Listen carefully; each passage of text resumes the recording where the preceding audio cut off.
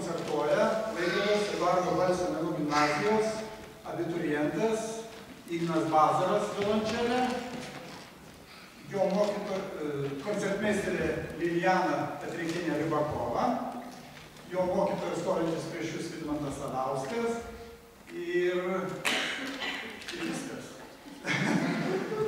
viskas. E, norėčiau keletą žodžių tarti prieš koncerto pradžią.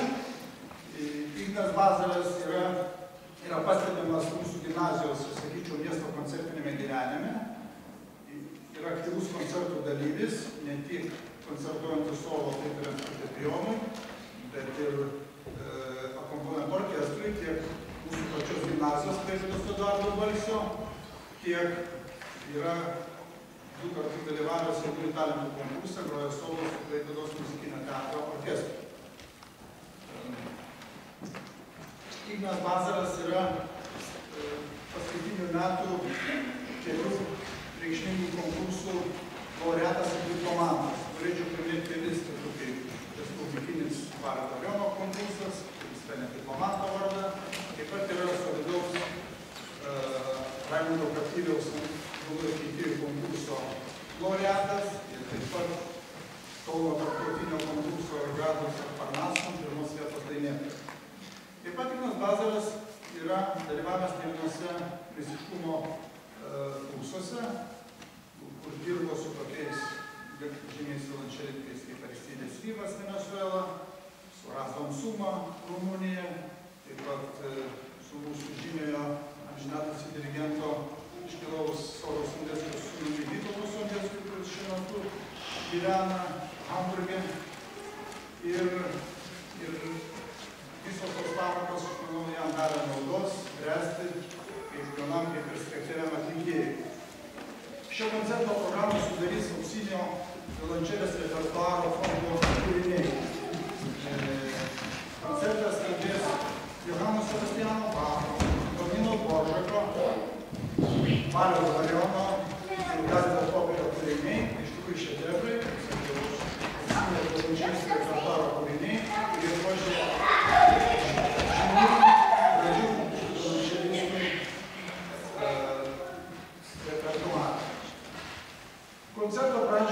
cabeça.